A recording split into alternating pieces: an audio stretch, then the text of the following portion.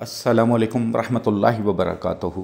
لاکھوں کروڑوں درود و سلام نبی اکرم صلی اللہ علیہ وآلہ وسلم پر، ان کی آل پر، تمام صحابہ کرام پر۔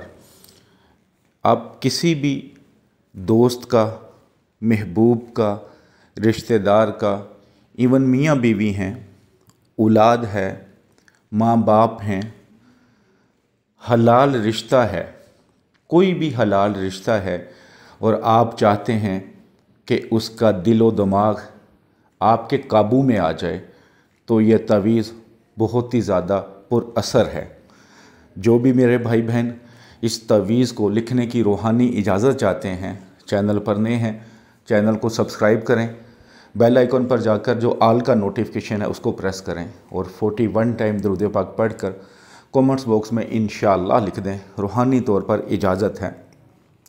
جو میرے بھائی بہن ملنا چاہتے ہیں ملنے کے لیے ٹائم مانگتے ہیں یا پریفر کرتے ہیں جی ہم سامنے بیٹھ کے یا پاس بیٹھ کر کوئی عمل کی بات کریں، اپنے مسئلے کے لیے تعویذ بنوائیں یا کوئی وظیفہ حاصل کریں۔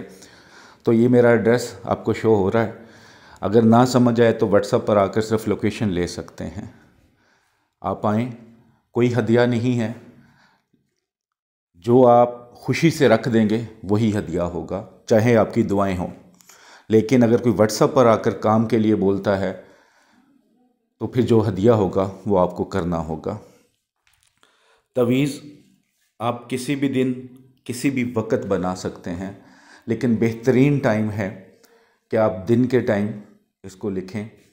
اور لکھنے سے پہلے صدقہ خیرات ضرور کرنا ہے۔ پاک صاف حالت میں جس جگہ پہ بیٹھ کے لکھیں، کسی جاندار کی تصویر نہ لگی ہو، کوئی حیض والی عورت یا بچہ آپ کے پاس نہ ہو۔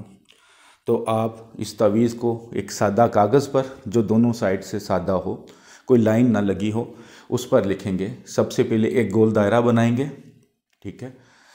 گول دائرہ جب بنا لیا آپ نے، تو سب اوپر سات آٹھ چھ بسم اللہ الرحمن الرحیم کے جو عداد ہیں وہ لکھ لیں۔ اس کے بعد سب سے اوپر والی لائن کو فل کریں گے، پانچ دو، ٹھیک ہے؟ پھر سپیس ہے، پھر دو چار، ٹھیک ہے؟ اس کے بعد نیچے میم لکھیں گے سیون ٹائم میم لکھی ہوئی ہے سیون ٹائم ہی آپ نے میم لکھنی ہے کوئی کمی پیشی خود سے آپ نے نہیں کرنی ایسا نہ کوئی غلطی کر بیٹھیں اس کے بعد نیچے پھر پانچ دو پھر اس کے آگے نو چھ ٹھیک ہے لیکن سپیس چھوڑنی ہے جو جگہ چھوڑی ہوئی ہے اس کے نیچے جس کے لیے آپ نے تویز بنایا ہے جو مطلوب ہے اس کا نام بن ماں کا نام اس کے آگے اعلیٰ خوب لکھیں گے۔ اس کے آگے اپنا نام بن ماں کا نام۔ اگر عورت ہوگی تو نام بنتے ماں کا نام آئے گا۔ تویز کو فولڈ کر لیں۔ ایک ہزار بار یا حیو یا قیوم پڑھ کر اس کے اوپر دم کریں۔